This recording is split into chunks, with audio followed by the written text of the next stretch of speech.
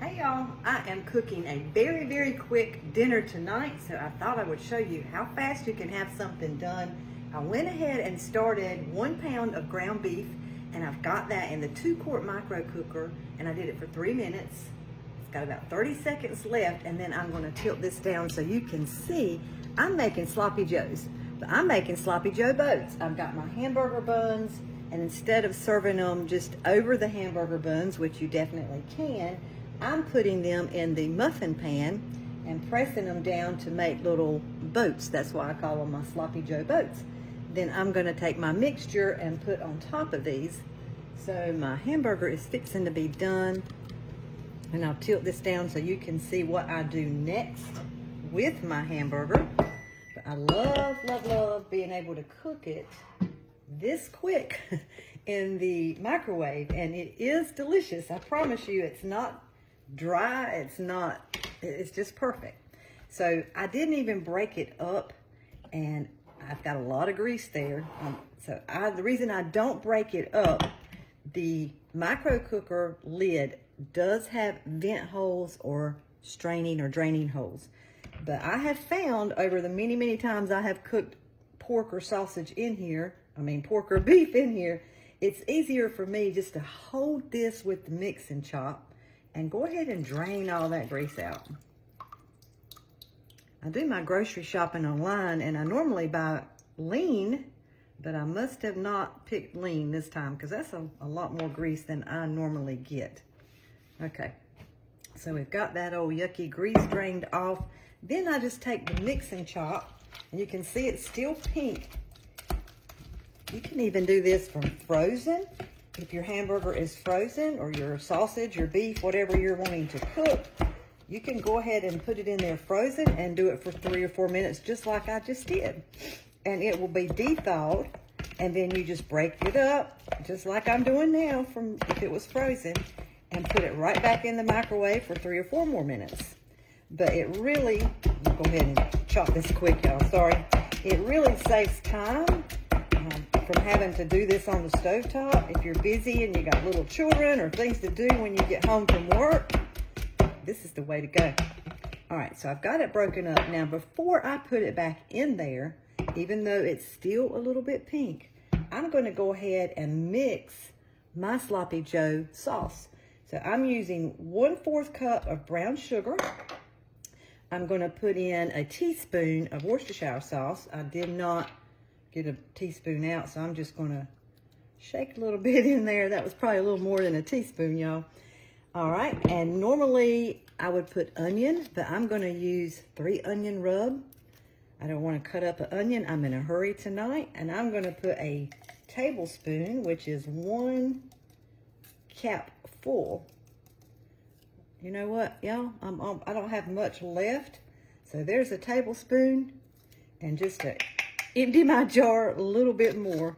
But don't fret. I have about five jars of these in my cabinet because I love, love, love them. Now, you can put salt and pepper to taste if you want to. I don't because the um, brown sugar and the Worcestershire sauce and three onion has got enough seasoning for me. And I'm going to put one cup of ketchup. So I'm just going to pop that in there using the um, Measure All Cup, you know from watching me that I have a deep love for that Measure All Cup. I was able just to squirt my ketchup in there and I didn't have to get any on my hands and it got every last drop of that one cup of ketchup. Okay, so now I've got a spatula somewhere. I'm gonna go ahead and just take this mixture and stir it around and let that go ahead and cook for the last three minutes with my beef to go ahead and get all that good flavor. So you can obviously also buy the Sloppy Joe in the can already made, but we all have brown sugar and ketchup typically in our kitchens and some seasoning. So it's really, really inexpensive to make your own. And then you know truly, truly, truly what the ingredients are in there. All right, so I'm going to put the lid back on. Put it back in the microwave for three minutes. All right, so while that is finishing up, let me move these dishes out of my way. I'll show you how I do my little boats, which is very, very easy to do. Maybe it's easier if I bring y'all this way. I like to use the boat press set. You can use your hands, you can use a spoon, a tart shaper if you have one. The boat press set comes with one handle and three different attachments. This is for our mini loaf pan. This fits our large brownie pan. I love making brownies and then pressing them like I'm gonna do these buns, filling them up with ice cream or different flavored treats. Grown-ups and children both love doing that at parties. So you can also, in your muffin pan, if you want to make the Sloppy Joe boats, you can use biscuits. When I use canned biscuits, I will pre-bake the biscuit. I'm going to do the biscuit the same way as you see these hamburger buns. And then I'll pre-bake the biscuit just for about five or six minutes. And then I will fill the topping on top of the biscuits and bake them for about 18 minutes. When you're using these hamburger buns, they don't really need cooking. They are done.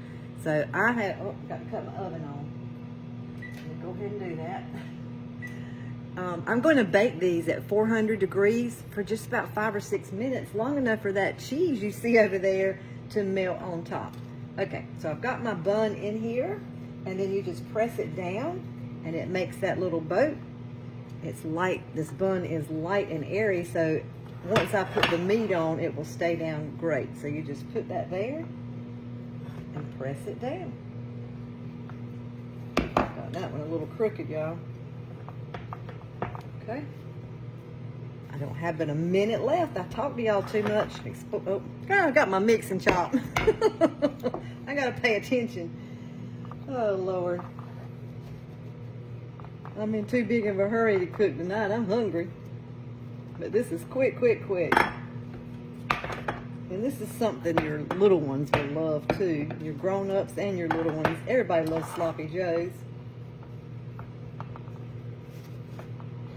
All right.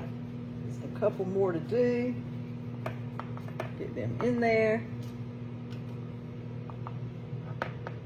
And again, you don't have to use the boat press, but I wanted to show you the boat press.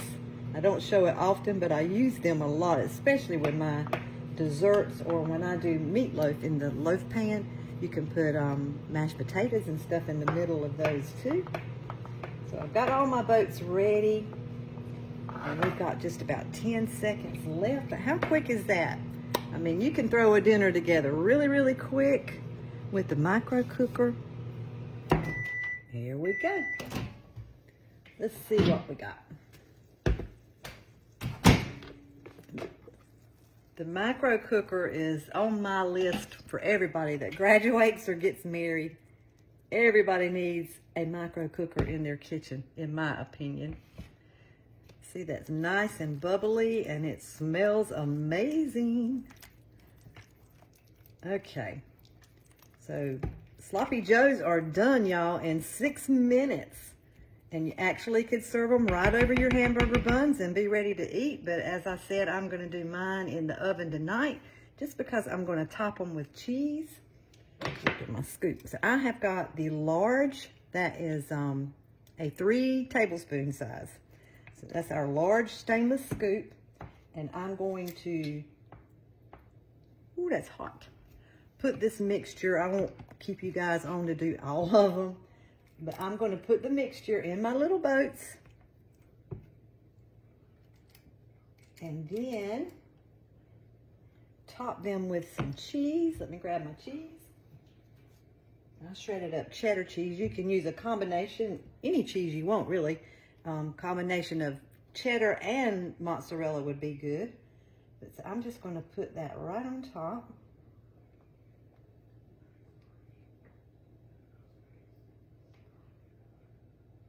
That is, love shredding my own cheese. The flavor, I promise you, if you ever start shredding your own cheese, not only is it cheaper because you're going to get more out of that block of cheese than you will buying the pre-shredded shredded cheese, but the flavor, y'all, is just un, unmatchable to that pre-shredded. Aren't they cute?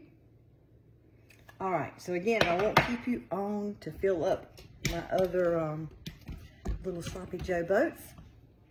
but I just wanted to show you how you can do that quick and easy. I could just, I'm hungry, so I could just eat this right out of the bowl tonight. so I will finish filling it up. By then, maybe my oven will be preheated and ready to go. And I will put pictures at the end as well as the recipe um, in the comments. And I'll put the recipe using biscuits or the hamburger bun so you'll know how long to bake for either one. So thank you guys so much for watching. If you don't have a micro cooker, call me. or go to my website because you need one of these in your kitchen. Thanks. Y'all have a great night. Bye-bye. Just wanted you to see, this is five minutes in. I probably won't go any more than seven minutes. And I may cut it on the roller just for a little bit to get that cheese nice and toasty. They smell so good. Okay, y'all, I just took them out of the oven and I have them sitting on the cooling rack. So I thought I would show you. They're so cute. They make the cutest little treats for parties, um, for little appetizers. Everybody loves them, grown-ups and children alike. Everybody loves Sloppy Joes, and you do not have to put cheese on top if you don't want to. So again, the micro cooker, I had a little bit of sauce left, and the boat press was perfect for this job. And once they cool, I will um, take a picture of one of them out of the pan so you can see what they look like.